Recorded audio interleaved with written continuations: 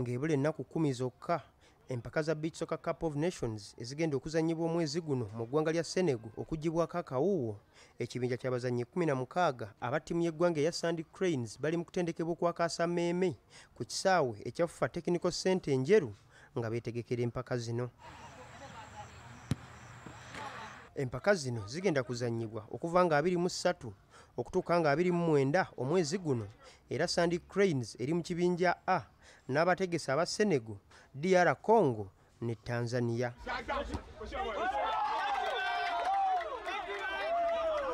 Salimu jamal muwonge ono nga ye mutendesi wa sandy cranes agamba abazannyi be bali mu mbeera nnungi nga beetegefu okugenda e senego okuvuganya okuwangula ekikopo. Ono agamba ku bazannyi 16 abali mu kutendekebwa agenda kulondako 12 bagenda okutwala esenego ate mu tenasimbula genda abasambi tulina ebintu ebyenjawulo bitandisa training ebipya etwagala obateekamu okusinziira ku bibaddewo tubadde tulina byetwagala okwongeramu. Kiwa we tunasimbulira tujja kuba lwedde okubanga tweŋŋanga omulabe sandy cranes egenda kugulawo olutabaalo lwayo mu mpaka zino ng'ettunka ne tanzania ezzeeko senego olwesembyeyo dr congo. Bekaresabula bbs terefayina gambuuze